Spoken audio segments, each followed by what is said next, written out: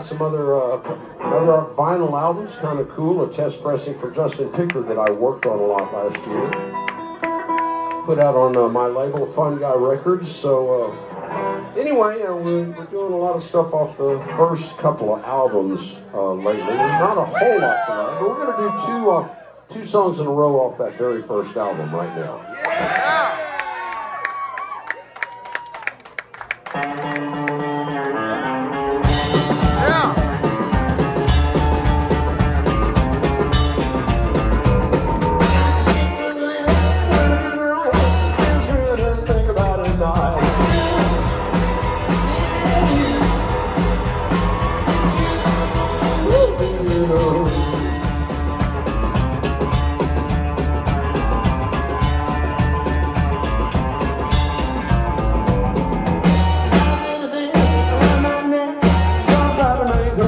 right.